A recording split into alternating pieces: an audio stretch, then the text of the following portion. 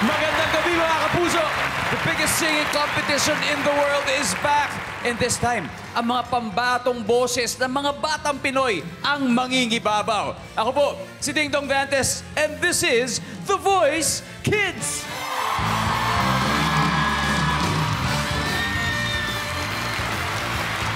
Dito po mismo sa entabladong ito tutuntok ang mga batang magtatagisan ng galing. Mula sa iba't ibang panig ng bansa, e baon nila ang kani-kanilang mga pangarap. Kaya ibibigay po nila ang lahat para mapabilib at syempre mapaikot ang ating superstar coaches. Kaya maling magbabalik ang ah, gagabay sa kanilang magiging talents this season. Ang frontman ng Team Believe, Coach Billy Crawford.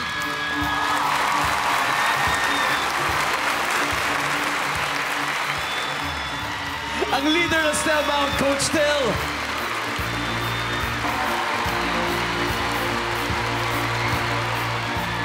The Queen of Jewel Squad, Coach Julian San Jose.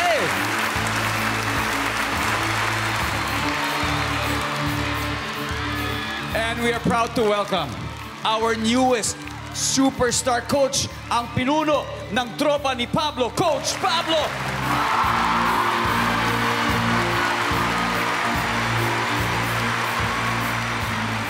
Wow! Coaches, hello! Grabe, parang iba ang pagka-fresh nyo ngayon. Parang kakaiba, ah, Coach Billy. Siyempre naman, talagang nakakabata pag napapalibutan tayo ng young energy. Hey! Nakaka-throwback ba? That's yes, fun. Kuya Dong. Naalala talaga namin yung experiences namin dati. Eh bakit? Ano ba yung inaasahan yung makita ngayong gabi? Siyempre po, excited na po kami marinig yung mga boses nila. Wow! Talaga ba po?